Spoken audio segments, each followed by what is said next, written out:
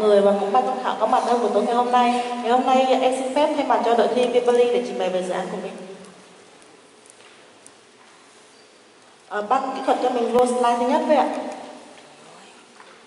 À, mỗi một lần sử dụng thì chúng ta sẽ có một tắc, tắc lưỡi sử dụng. Một cái ống hút thôi mà. Chỉ xài có một lần. Một cái hộp xốp thôi mà. Không xài thì mình lấy thì mình ăn. Và một cái túi ni lông thôi mà. Bao nhiêu người xài ở đó mình tiết kiệm có một cái thì trái đất này cũng cũng cũng có xanh hơn không và cứ một lần tặc lưỡi như thế thì chúng ta đổi cho mẹ trái đất từ 50 cho tới 500 năm phân hủy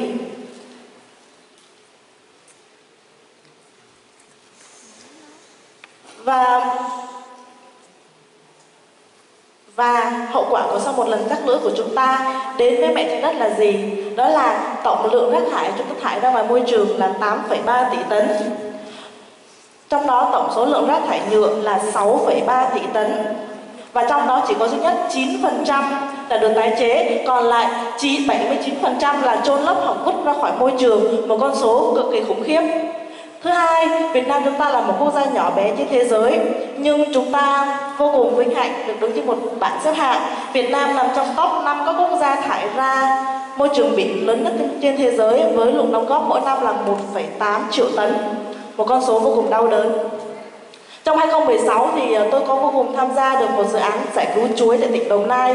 Khi mà nơi đó các bị vị người nông dân bị thương lái ngừng ngừng thu mua và tôi chợt nhận ra rằng là wow, thì ra Việt Nam chúng ta trồng nhiều chuối đến như thế. Việt Nam chúng ta là một trong 20 quốc gia trên thế giới có diện tích trồng chuối lớn lên tới tại tỉnh Đồng Nai là 7.000 hecta. Và khi tìm hiểu sâu hơn thì tôi được biết rằng là giấy được làm từ thân lá chuối thì có độ bền bỉ cũng như là độ chống nước gấp 3.000 lần so với giấy làm từ bột gỗ. Và một ý tưởng chợt nảy ra là tại sao chúng ta không tận dụng một cái nguồn phụ phẩm sau khi thu hoạch?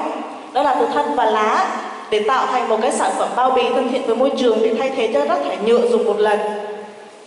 Và Vipali ra đời với ba dòng sản phẩm chính. Đó chính là hộp lá thay thế cho hộp đựng thức ăn, khay lá được sử dụng thay cho khay xốp trong các chuỗi siêu thị và túi giấy để thay thế cho túi ni lông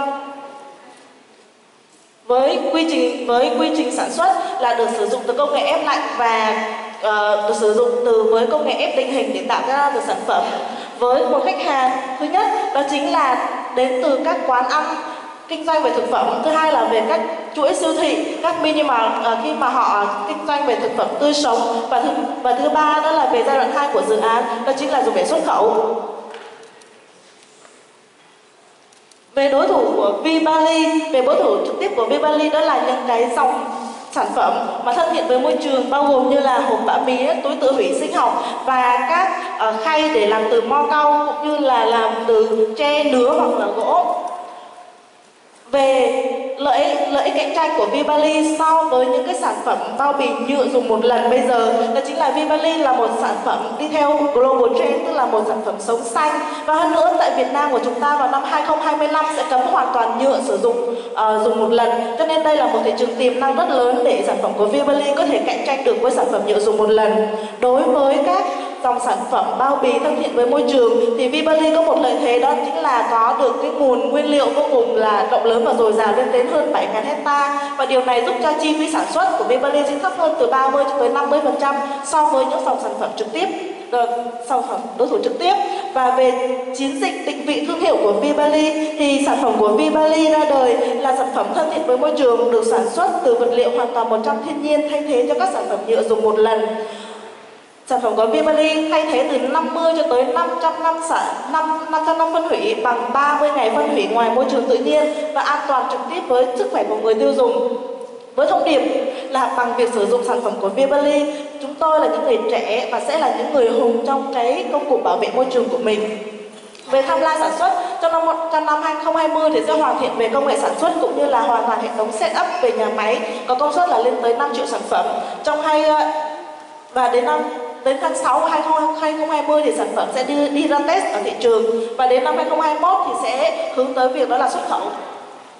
Về kế hoạch tài chính trong năm à, sau khi chúng ta hoàn thiện và set up về các hoàn thiện về nhà máy thì trong năm thứ nhất sản phẩm sẽ mang về đó là 6 tỷ 400 triệu. Trong đó là đến rồi lợi nhuận sau thuế sẽ là sấp xỉ khoảng 700 triệu và tổng thời gian hoàn vốn sẽ là 2,4 năm về team team là bao gồm mà tôi là Nguyễn Diệu Linh đến từ uh, khoa luật của trường đại học Thủ Dầu Một. Và thứ hai là bạn Thu Phú đến từ trường đại học Tech và ba là bạn Vũ Khánh đến từ trường uh, khoa luật của trường đại học Thủ Dầu Một. Xin chân thành cảm ơn ạ. Xin được cảm ơn. Những chủ đến từ đội Vivali và thưa quý vị thân mến trước khi chúng ta đến với phần Q&A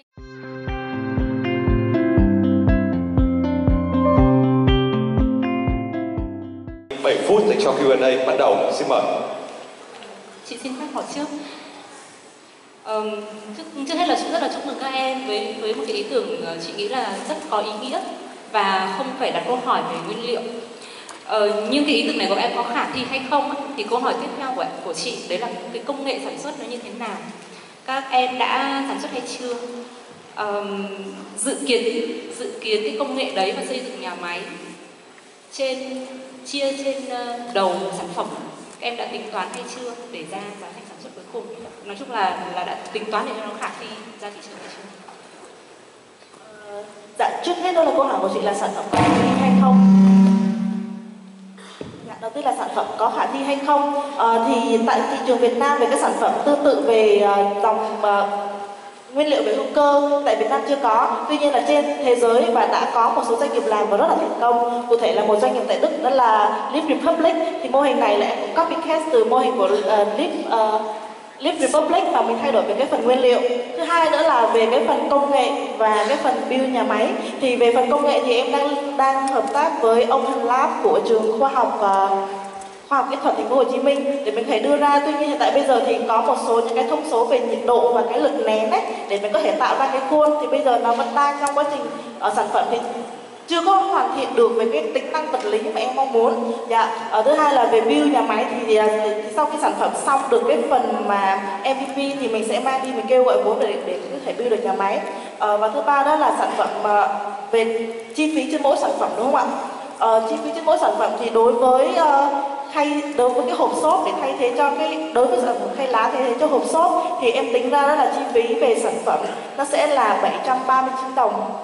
Và chi phí sau khi hoàn thiện từ chi phí quản lý cho đến marketing hay là uh, tất cả thì chi phí để đưa tới tay của người tiêu dùng thì sẽ rơi vào sấp xỉ khoảng từ 1.200 cho tới 1.500 đồng trên một hộp. Chị hỏi thêm về nhà máy ấy, là nhà máy phải xây mới hay là các cái uh, cơ sở uh, sản xuất hoặc là gia công các loại um, các loại nguyên liệu khác mà họ đã từng dùng có thể ứng dụng được công nghệ của mình? Dạ chị có thể đặt lại câu hỏi ạ.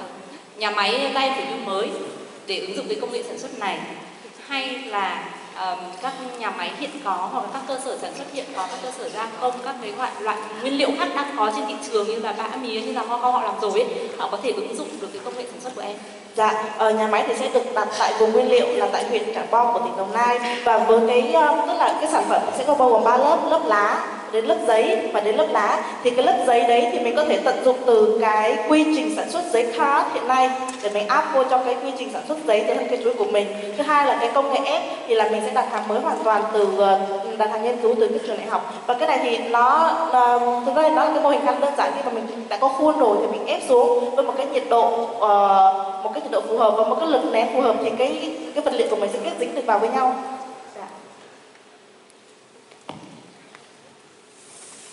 Ờ, cho mình hỏi thêm bạn thực ra cái ý tưởng của bạn rất là hay bởi vì là chúng ta sử dụng ờ, chúng ta có hai mục đích. Vừa là sử dụng một cái nguyên liệu mà uh, nó là thừa của chuối nhưng mà đồng thời thì lại là chúng ta uh, có thể uh, cải thiện được cái tình hình môi trường sử dụng các cái uh, các cái trang bị bằng bằng nhựa. Tuy nhiên ở đây mình thấy là trong cái phần nhân sự của các em ấy thì các em có ba người. Hai bạn là học về luật và một bạn thì Ờ, về không biết là về quản trị ạ. Về quản trị đúng không? Thế và thực ra thì trong cái dự án này thì cái yếu tố kỹ thuật cũng rất là một yếu tố rất là quan trọng. Ừ, thì ờ, bạn sẽ ờ, nghĩ như thế nào về cái vấn đề là bởi vì bạn sẽ phải đi nhờ các đúng không? các chuyên gia về công nghệ để sẽ phải làm về cái vấn đề về công nghệ này. Thì nếu như họ đã làm được cái công nghệ này thì uh, họ cũng có thể uh, sự làm cái dự án này. à, thì đấy là cái vấn đề về cạnh tranh. Thì mình muốn đặt cái vấn đề đấy ra cho bạn thì bạn có thể uh, nhìn thấy và trả lời cái câu hỏi đó. À, đầu tiên là về cái công nghệ sản xuất trên cái dây chuyền thì thực ra để tạo ra cái sản phẩm này mình có thể sử dụng máy móc nó rất là khá là đơn giản. Cái điều của mình chỉ là set up về lực nén, à, về lực ép và về nhiệt độ. Thì cái điều này thì khi mà mình hợp tác với cái bên Open Lab tức là một cái đơn vị mà họ cũng chuyên nghiên cứu ra các loại máy móc để phục vụ cho các loại doanh nghiệp á thì mình sẽ có những cái điều khoản trong hợp đồng về sở hữu trí tuệ. Um, và hơn nữa là về cái mô hình làm như thế này nó còn mới. Cho nên là khi mà Vibali xong hết một cái hoàn tận setup thì cái điều của mình đó là mình đánh trên thị trường thì nó sẽ đi đi nhanh vào thương hiệu. Còn cái phần mà uh, phần máy móc hay phần công nghệ thì em, thì em cho rằng là bất cứ cái sản phẩm nào chúng ta cũng rất là dễ sao chép và cái định và cái điều chỉnh của chúng ta là chúng ta làm một cái thương hiệu vững chắc để mọi người biết đến chúng ta nhiều hơn.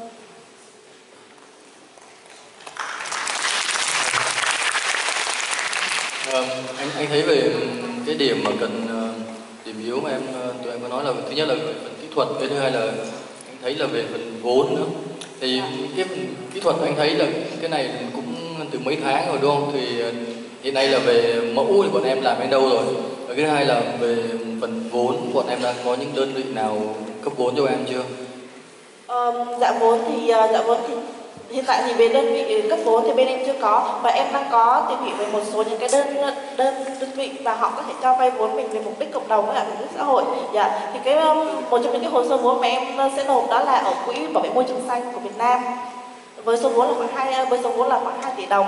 Thứ hai là về phần công nghệ thì có một cái đó chính là khi mà sản phẩm sấy xong mà mình ép xuống á, thì cái thì cái lá chuối của mình sẽ không được và nó bị nó bị xé ra. Thì nó khiến cho cái điều này khiến khiến cho cái phần sản phẩm nó vẫn chưa có hoàn thiện được cho đến cho đến thời điểm này.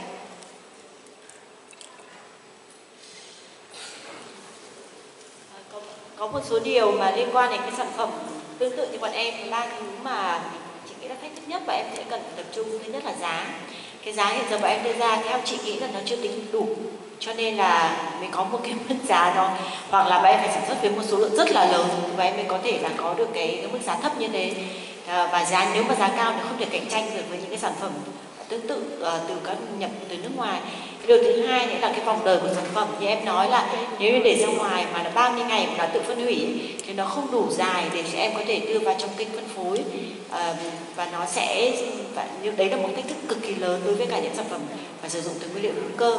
Và hiện giờ chị chưa nhìn thấy là bọn em có cái phương án gì để giải quyết và cái điều thứ ba nữa là trong quá trình làm mình cái công nghệ này thì em ấy đang nói đến công nghệ ép và chị không rõ là nó có như vậy có đủ không hay nó còn có những cái hóa chất nữa sử dụng trong quá trình mà mà mà mà sản xuất thì ba cái thách thức này là ba thách thức lớn nhất mà đối với cả các đội tương tự và cũng các em cố gắng tìm phương án giải quyết.